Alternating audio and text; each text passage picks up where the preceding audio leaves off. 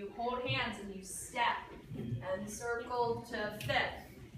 You gotta control it. You can't just let yourself go.